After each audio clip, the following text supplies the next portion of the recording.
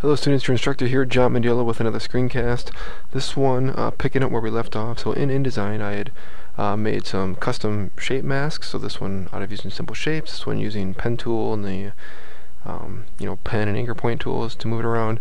And this one started as a piece of text I converted to outlines and then masked the image inside there. However, you can also use Illustrator to work with InDesign. So if you have some you know graphics you had made in Illustrator, you can easily bring them into InDesign and use them as image masks there. So, I'm going to step over to Illustrator, see that I have this shape right here, it's kind of this custom shape that I had made. So what I'm going to do is just copy it, go back to InDesign, so move over here, and I'm just going to paste it in place. Okay, so here's my image. Then, what's great, you notice how InDesign recognizes that it's just a green shape with no fill, just like in Illustrator. So then I can just go to File, Place, grab the same image of my daughter, and she's placed inside there. So that's great, and even better, I can actually take these points, just like if it were drawn in InDesign originally, and manipulate them. So in other words, InDesign and Illustrator understand each other's uh, vector shape so that's really great. Um, I can even, you know, do things like this. If I want to give this, let's say, I don't know, a red outline. I don't know why I would, because it looks hideous, but let's say that I did. I could do that. Maybe make it a little easier to see. Something to that effect.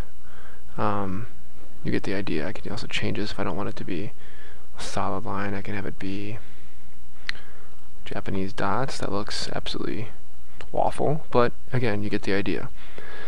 Uh, another thing I can do, if I have already masked something in Illustrator, I can bring that over to InDesign as well and tweak it further if I desire. So I'm going to go back to Illustrator. Now, let's say I have this here, and I'm going to draw a shape. So I've already placed this image into Illustrator. And I have this shape here, and I'm just going to select both of these, so the shape and the image that I just drew. And notice how I have to have the image on top. I'm sorry, I have to have the graphic that I created on top, and the image has to be behind. So with those both selected and overlapped in that order, go to Object, Clipping Mask, Make. So there it is in there. And I can use my white arrow tool if I need to, um, you know, move around the shape or whatever. But I can actually have more control over this using InDesign's great image placement tools. So all I'm going to do, get my black arrow tool, select this, edit, copy, just like before, go back into InDesign, I'll move this out of the way, I'll just delete it. I'm going to go to Edit, Paste. And what we'll see is that it'll come in, it'll actually be a shape with the image already masked inside it, which is great. So here it is, and I can just move this over. I think I can tell that it's an empty shape, it has no fill um, or stroke if I want to. I can give it a fill color of yellow, let's say. Okay, that's not really what I wanted, so let's undo that. But what I should be able to do is click on this and let's say I want to center the image and fill it proportionally. You know, all those things that I want to do. So what it's done is it's taken the graphic shape that I had created in Illustrator and has made it a lot of as big as the image itself, which is this rectangular area. So, but it's still, if I want to, I can tweak this. So I can just click on the path here. You know, if I want to bring this back down or what have you. I can still do that because again it's the same vector drawing tools as Illustrator and InDesign, same as each other.